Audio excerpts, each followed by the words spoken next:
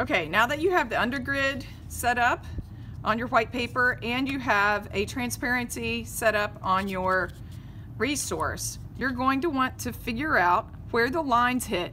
And we're creating contour lines. Contour line shows the edges of the things within. One time I had a kid say, well, contour lines just show the outside.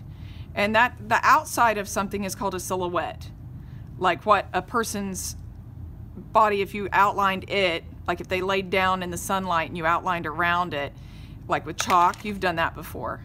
Um, that's a silhouette. We're looking for contour lines. So contour lines, usually what I do is I look for anywhere the value in the piece changes.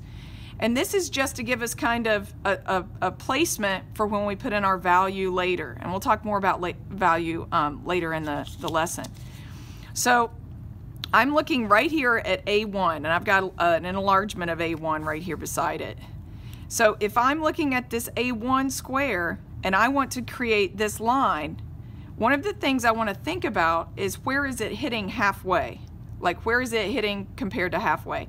So if this to here is one full measurement, this would be almost halfway. So like if I was doing it on something like this, it would be right there. Okay, so if I have that little mark, which I'm gonna create right there, then I gotta figure out where this goes. Well, does this go to the corner? It doesn't. It goes um, about a quarter of the way over. So then I would make a mark about a quarter of the way over. And then I look at what kind of line that creates within, and it is more of a straight diagonal. Sometimes you'll have a diagonal that's curvy. You gotta really look at what the characteristic is of the line. So then I'm gonna take and create that angle like that. So there I've got that one and then I'm gonna have to get this one in. There's an empty space here and then there's another line. So that's what I'm gonna be, I'm gonna be doing, but I'm gonna put it on, on my uh, grid here.